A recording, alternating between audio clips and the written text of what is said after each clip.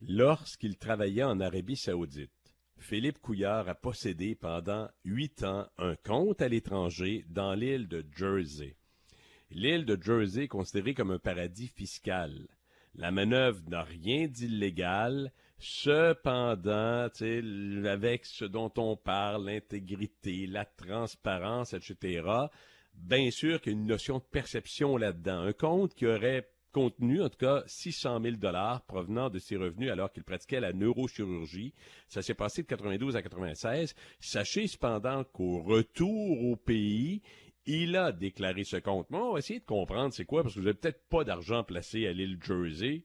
Mais écoutez, si vous en avez, tant mieux pour vous. Pour la majorité d'entre vous, vous n'en avez pas, ni moi non plus. Il s'appelle Nicolas Boivin. Il est professeur de fiscalité au département de sciences comptables à l'Université du Québec à Trois-Rivières. Bonjour, M. Boivin. Bonjour, Euh, on va essayer de comprendre, parce que moi, je n'en ai pas de compte à l'île euh, Jersey, ni non plus la majorité, je pense, de ceux qui, en ce moment même, même nous écoutent peut-être. On parle de paradis fiscal. Qu'est-ce que c'est l'île de Jersey? C'est quoi ça? C'est quoi cette banque-là? Essayez de me faire comprendre un peu euh, de quoi il en retourne.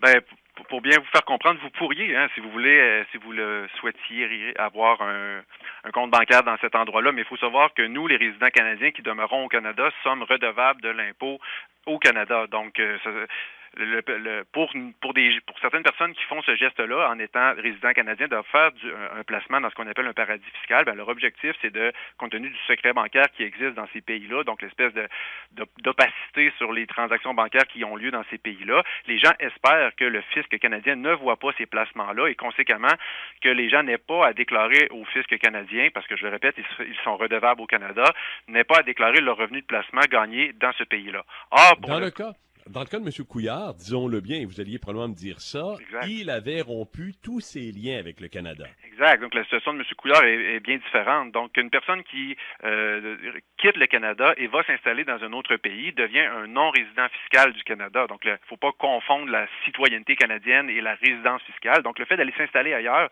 fait en sorte qu'on coupe notre, notre, notre, l'obligation fiscale envers le Canada. Et je tiens à, dire une autre chose. On ne fait pas juste couper notre obligation fiscale envers le Canada, on se prive aussi de tous les services publics dispensés au Canada. Donc, il y, a, les deux côtés de la médaille. Pendant une période de quatre ans, M. Couillard a, renoncé à son statut de Canadien avec les avantages et inconvénients que ça comporte. Et il était, pour ces quatre années-là, redevable d'impôts en Arabie Saoudite.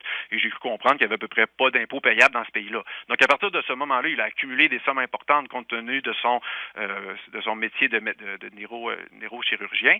Et c'est pas surprenant de voir l'ampleur du placement qu'il s'est euh, qui s'est bâti euh, au fil de ces années-là. Et à partir de ce moment-là, le choix de placement qu'il a décidé de faire avec ces sommes euh, lui appartient et il était de redevable d'impôts en Arabie saoudite sans plus euh, pour ces années-là, je le répète. Lorsqu'il revient au pays après son mandat là-bas, il fait une déclaration volontaire sur l'existence de ce compte et là, il a payé des impôts, mais pas sur le capital. Non, parce qu'il était tout à fait légal, je dirais, pendant les quatre ans où il a gagné son revenu de médecin en Arabie saoudite, que ce revenu-là ne soit pas assujetti à l'impôt fédéral canadien. Donc, euh, c'était vrai pendant les quatre ans et ce n'est pas cette décision-là ne peut pas être modifiée ou rétroactivement à son retour, ça n'en change rien.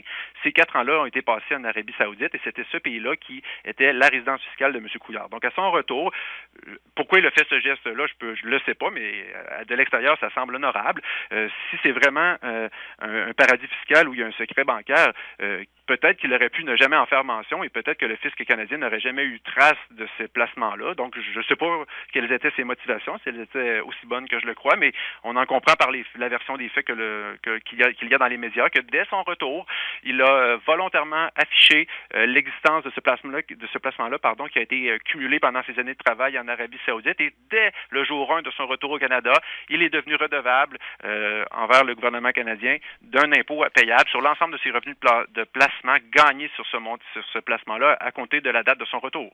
Monsieur Boivin, vous êtes un spécialiste, vous êtes un professeur de fiscalité et dans ce dossier-là, depuis que c'est sorti, bien des fiscalistes se sont prononcés. Pour plusieurs d'entre eux, on parle de l'île de, Jersey avec, bon, euh, comme principal attrait et intérêt que cette île offre le secret bancaire, parce que lorsqu'on travaille ailleurs sur la planète, on peut placer notre argent partout sur la planète.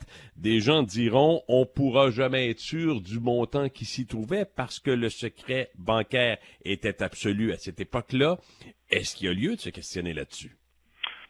Écoutez, bien sûr que oui. Euh, Bien sûr que oui, mais dans, dans, le même esprit, on pourrait se questionner sur euh, à peu près n'importe qui qui est moindrement riche et qui aurait l'opportunité de, de, faire du, du, placement dans ces paradis fiscaux-là. Donc, euh, pour, pour, pourquoi lui étant plus, euh, susceptible? Donc, peut-être qu'on peut se poser la question. certains ont fait l'analyse qu'un placement de 600 000 ça semblait un montant relativement raisonnable pour quelqu'un qui a pratiqué la médecine pendant, pendant quatre ans dans, ce pays-là. Peut-être que c'est un argument aussi à, à, à ce faveur-là. Mais ce qu'il faut aussi savoir, c'est que pendant les quatre ans où il était euh, résident de l'Arabie Saoudite, compte tenu du régime fiscal très généreux où, il y a, pratiquement il y a une absence d'impôt en Arabie Saoudite, c'était pas nécessaire pour lui de faire le placement nécessairement dans un dans un paradis fiscal. Donc euh, mm. euh, possiblement que la motivation pour aller choisir un compte à l'île Jersey était peut-être autre que le, le, le, secret bancaire ou parce que de toute façon, il n'était redevable de rien en Arabie Saoudite pendant sa période de quatre ans. Euh, euh, revenons sur les paradis fiscaux en général. Vous avez bien établi au départ que monsieur et madame tout le monde pourrait aussi placer ailleurs, mais devrait évidemment acquitter ses impôts et tout ça, étant euh, relié à, notre, notre, système canadien. toujours aussi attirant. On, a souvent parlé, évidemment, euh, euh, d'endroits très, bon, de la Suisse, euh, des îles Caïmans, bon, de la Jamaïque, etc. Est-ce que c'est un endroit qui, pour ceux qui avaient de l'argent à placer, est-ce que l'île de Jersey avait un attrait naturel ou a un attrait naturel? Je crois que oui.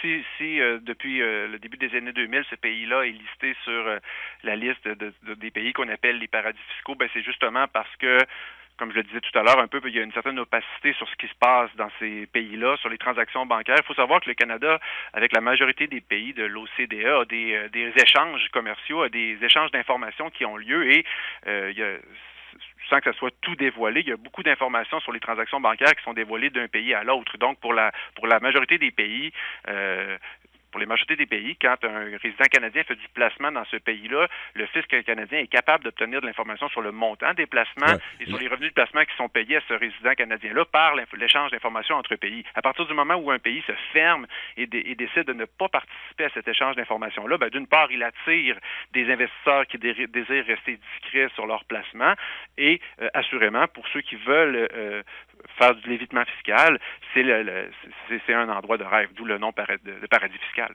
Reste que le secret bancaire est plus nécessairement aujourd'hui ce qu'il a déjà été. En effet. Euh, euh, les, les, règles se sont euh, resserrées. Les, gens qui sont pris dans des stratagèmes où il y a placement dans des pays identifiés comme paradis fiscaux sont de plus en plus pénalisés. ça peut même être des, fois des des, accusations criminelles qui sont portées. Donc la chose est beaucoup pris plus au sérieux qu'auparavant pour que l'ensemble des Canadiens soient bien conscients de leur obligation fiscale envers le Canada. Euh, extrêmement intéressant, M. Boivin. On comprend davantage. Merci infiniment. Ça me fait plaisir, M. Paradis. Au revoir. Nicolas Boivin, bonne explication, vous comprenez davantage. Il est professeur de fiscalité au département de sciences comptables à l'Université du Québec à Trois-Rivières. Faudra voir, faudra voir la réaction et comment ça se sera joué à partir de maintenant dans le cadre d'une campagne où depuis quelques jours, on parle énormément de transparence, d'intégrité, de morale et d'éthique